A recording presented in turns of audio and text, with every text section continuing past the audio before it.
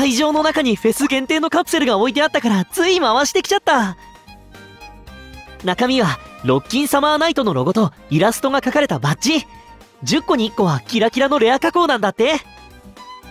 狙ったデザインは1つ目で出てそれからもほとんど被りはなかったんだけどキラキラのやつも欲しかったな。他にもいろんなお楽しみコーナーがあって休憩時間があっという間だったよ。いい感じでリラックスできてるかも。リハもこの調子でみんなに負けないくらい楽しみたいな。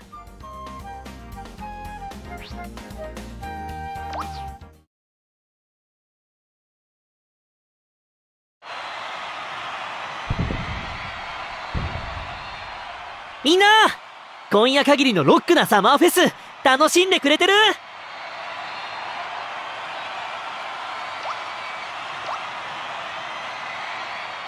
俺もすっごい楽しんでる。